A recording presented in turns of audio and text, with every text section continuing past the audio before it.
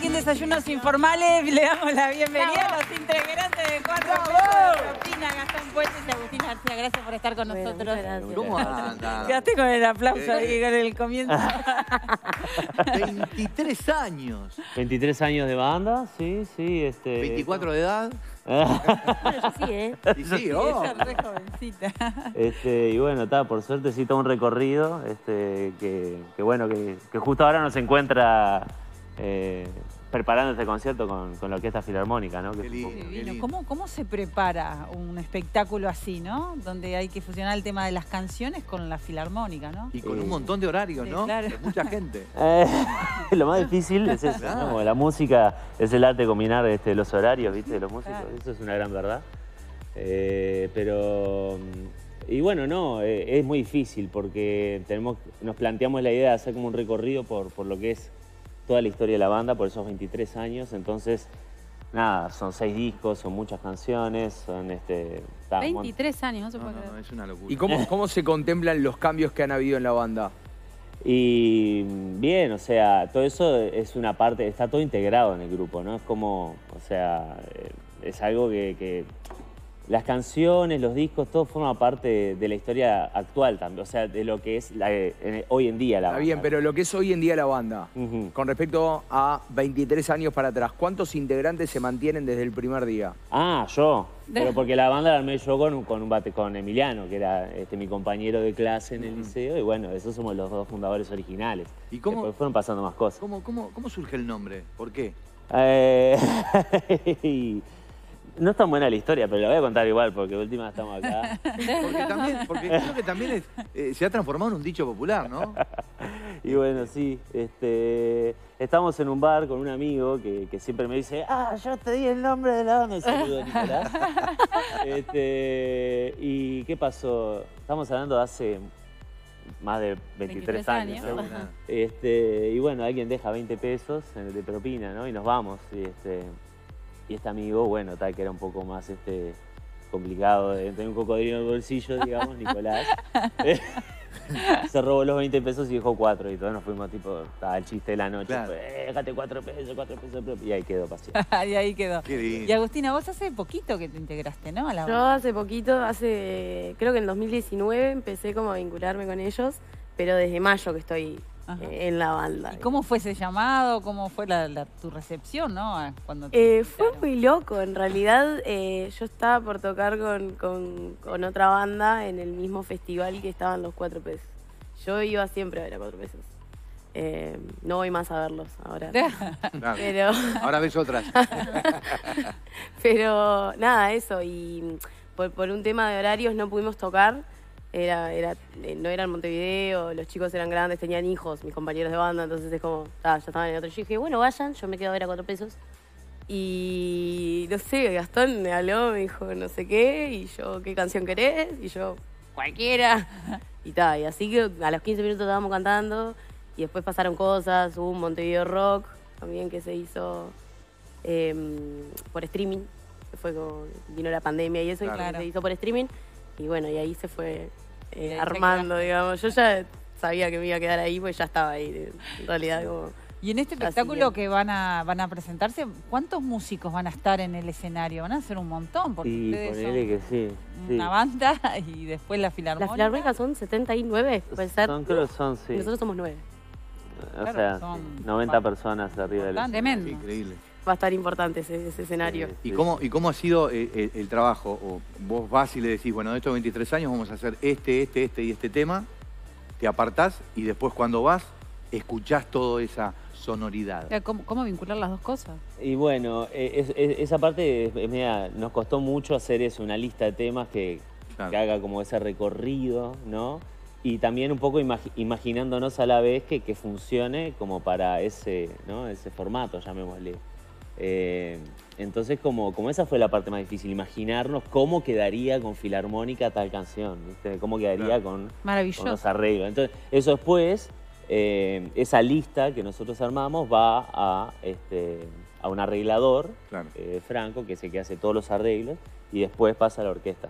Pero claro, un poco hay que imaginarse, un poco hay que intentar adivinar cómo, cómo funcionan algunas canciones que, que de repente funciona muy bien en vivo y son de los toques de siempre, Claro. capaz que acá no, no y otras Seguro. sí.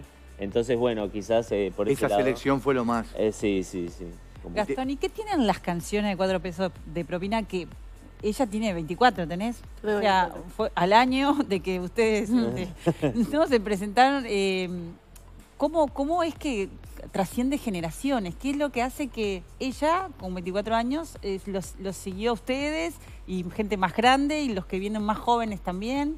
Digo, ¿qué es lo que hace que, que hay canciones que se conviertan en himnos, que sean algo que, Sí, que les eso toque no- a la gente? Y eso, eh, no sé eso. En mi opinión, en mi opinión es la versatilidad. Es, ¿Eh? Es la versatilidad que tiene la banda. Es eh, el tener. Porque es una banda de rock.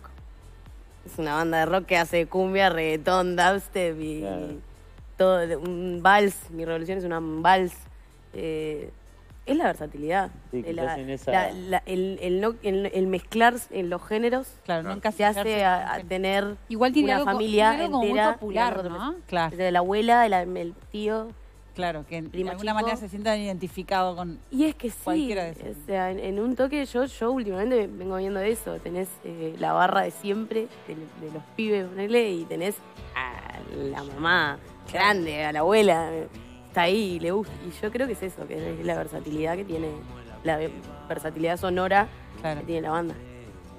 ¿Y cómo, cómo es la búsqueda de eso? ¿Es, ¿Les gusta un ritmo, parece un ritmo, o, o ya conocen ese ritmo, lo investigan, van por ese lado, por ese rumbo? A veces sí, a veces sí, a veces este, depende de las consignas, ¿no? Este último disco es un poco más de eso, un poco más de investigar sonoridades.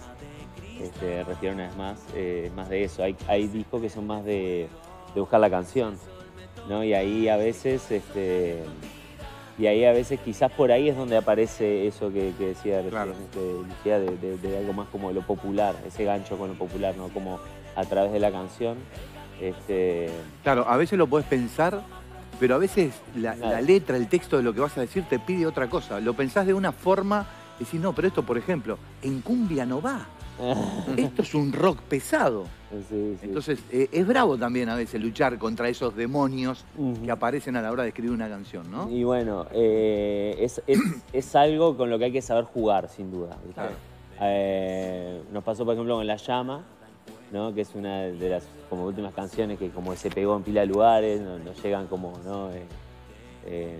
Videos, to- todos los diciembre no- nos llegan pila de videos de escuelas, ¿viste? que la cantan, la cantan, la cantan en todo el país. Vos decís, "Ta, esto, esto es romper como, como, como con ciertos esquemas del rock, ¿no? De- del- escenario del rock, como poder eh, que no sonar en, en las escuelas. Y, y, por ejemplo, en la llama fue como decir, bueno, tenemos como que notamos que, la canc- que, que lo que la gente gustaba era como la canción, entonces intentamos hacerle poquito. Claro, pero si yo te digo ahora, pero si yo te digo ahora, por ejemplo, escribime una canción para que la canten en las escuelas, no te sale. no, claro. Porque no, no, no podés escribir con ese concepto, No. porque Claro. no sabés por dónde puede explotar.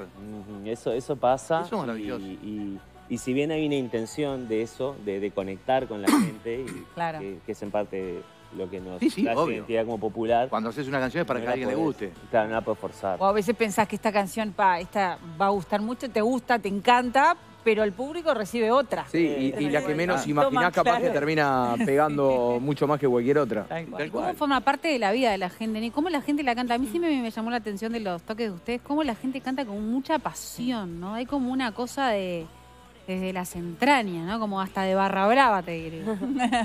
Sí, sí, es como hay ahí, eh, por suerte, una, una- un vínculo muy cercano. Eh, la gente se apropia de, de- Tal cual, de la marca, claro. entonces la, la vive, la revive. Y eso, bueno, está, nos da, nos da vida. Sí, sin duda. Qué lindo. Bueno, repetimos entonces el jueves 16 y 17 de febrero. ¿no? Teatro Solís. Eso mismo, jueves 16, viernes 17, esta semana que viene, eh, venimos ya ensayando, preparando esto con, este, con mucho cariño, así, con mucha dedicación eh, a la gente, invitarla. La pueden sacar por Ticantel, las entradas. Este, el 16, El creo que 16. ya está, no- si no Ah, está sí. agotado, el- está ahí. ahí. Y el 17, que fue la fecha que abrimos después, cuando vimos que el 16 se estaba agotando, dijimos, vamos a abrir una. Una más, claro. Y eh, esa tiene más lugares, este, así que nada, todo el mundo está invitado ahí a, a arrimarse. Buenísimo, Qué Gastón, lindo. Agustina. Gracias Feliz por cumpleaños estar. y éxitos. Gracias. ¿Qué van a cantar? Vamos a cantar una canción este, que se llama D, es de Respiro una vez más. Buenísimo.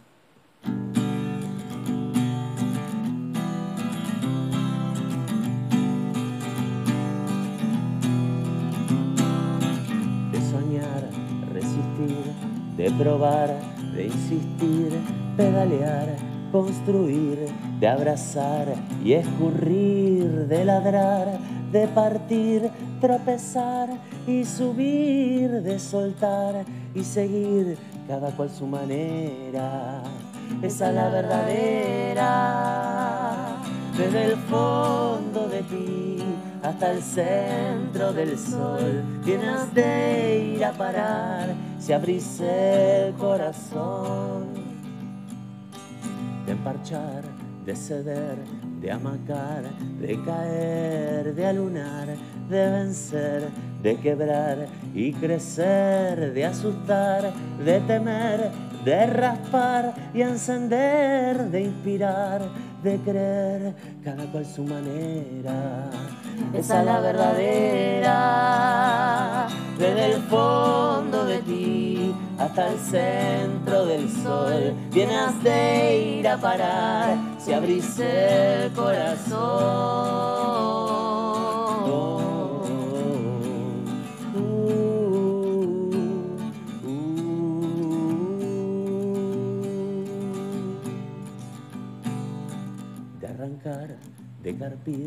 De aprender, decidir, de amar, de morir, renacer, sonreír, de encarar, de abolir, desnudar, despedir, de vibrar, de sentir, cada cual su manera. Esa es la verdadera, desde el fondo de ti hasta el centro del sol. Tienes de ir a parar si abrís el corazón desde el fondo de ti hasta el centro del sol. Tienes de ir a parar si abrís el corazón. El bien. Gracias. Gracias. Éxito. Nos vamos al móvil con Nadia.